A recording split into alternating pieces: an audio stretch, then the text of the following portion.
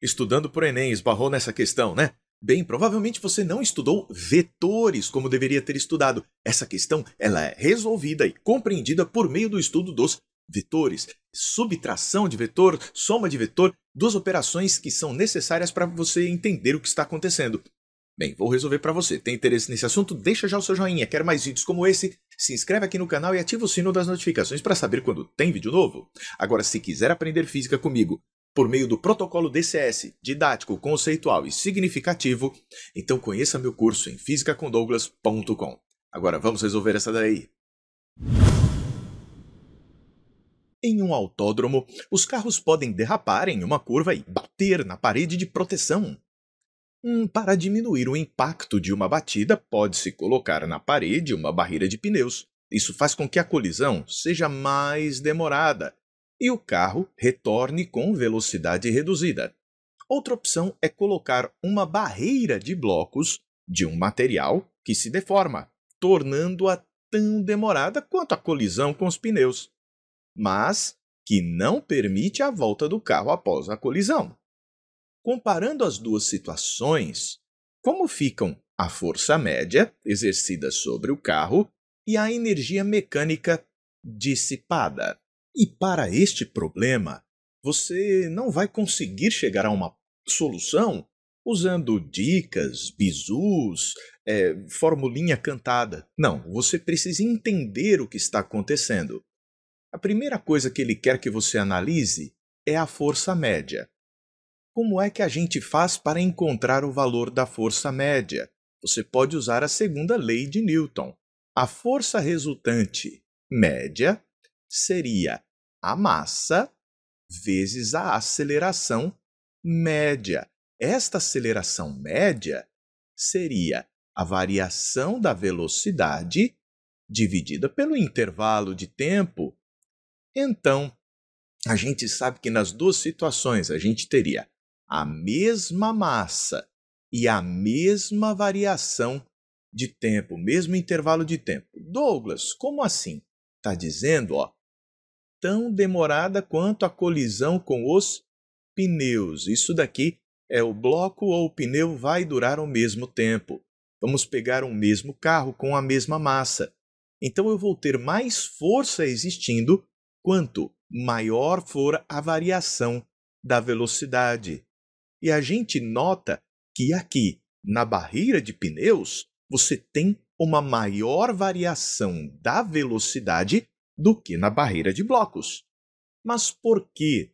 Porque isso é uma variação vetorial. Então você precisa saber as operações vetoriais. Variação vetorial é o vetor final menos o vetor inicial. E se a gente somar o vetor velocidade final com menos o vetor velocidade inicial, que é a variação da velocidade VF menos VI. Então, VF somado com menos VI, eu vou somar este VF para a esquerda com o menos VI, que está para a esquerda. Mesma direção, mas o sentido aqui oposto. Pronto. Se você for ver, isso daqui é o valor do ΔV para o caso da barreira de pneus. Mas quando a gente vai na barreira de blocos, a velocidade final é zero. Então, nesta situação, nesta circunstância, a variação da velocidade, que seria a velocidade final menos a velocidade inicial, e esta velocidade final é zero, isso quer dizer que a variação da velocidade corresponde a menos a velocidade inicial. Então, você simplesmente vai verificar que nesta situação, para a barreira de blocos, a variação da velocidade, o ΔV, é isto aqui, ó. Tem o tamanho do vetor, é velocidade inicial. Este é o nosso ΔV. Comparando, ó, comparando este aqui com o outro, a gente verifica que é menor, né? Então aqui é só o menos VI, aqui é o menos VI com o VF, olha. Por essa razão, a gente vê que a força, no caso da barreira de pneus, é maior. Então a gente coloca aqui que, neste caso, o módulo de ΔV ser maior implica o fato de a força resultante média também ter um módulo maior. Isso já te ajuda a analisar as alternativas.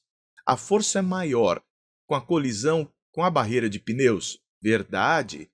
Com os blocos? Não. Esse daqui não.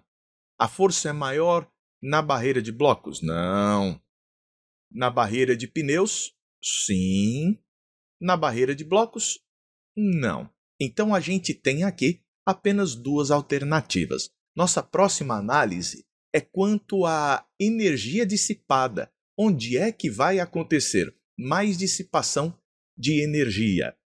Veja que, no caso da barreira de pneus, a gente tinha energia cinética e no final ainda sobra energia cinética, a energia na volta. Mas na barreira de blocos, tínhamos energia cinética antes e depois já não tem mais nada. Porque se não tem velocidade, não tem mais energia cinética. Então a barreira de blocos dissipou toda a energia cinética na colisão, enquanto que na de pneus ainda havia energia não dissipada, porque ainda havia velocidade. Lembrando que o valor da energia cinética é o valor da massa vezes a velocidade ao quadrado sobre 2. Talvez você fale, ah, Douglas, mas a velocidade é negativa. Não interessa se velocidade é negativa ou positiva. Também porque quando a gente está falando aqui de energia, está ao quadrado. Qualquer coisa que você venha colocar ao quadrado vai ficar positiva. Qualquer real ao quadrado tem um resultado positivo. Bem, então a energia é dissipada, a energia mecânica tem maior dissipação na barreira de blocos.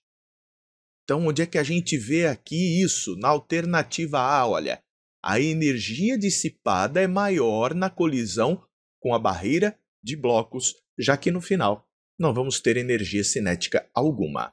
Entendeu? Então deixa o seu joinha, quer mais vídeos como esse, se inscreve aqui no canal e ativa o sino das notificações para saber quando tem vídeo novo. Quer entender mais sobre vetores? Tem um vídeo sobre vetores aqui no canal, ensinando tudo que você precisa saber para entender melhor ainda essa questão. Um forte abraço e até lá, a gente se vê!